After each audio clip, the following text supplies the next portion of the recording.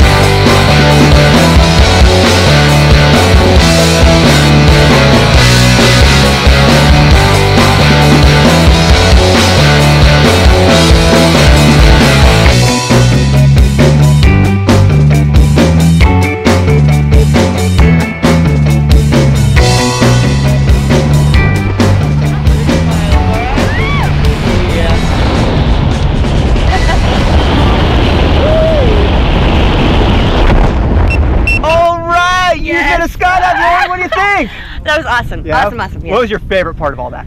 uh, the free falling, the spiral thing. Yeah, Awesome. Give a big high five. Big thumbs up. Say blue skies. Blue skies. Skydive Taft. We'll see you.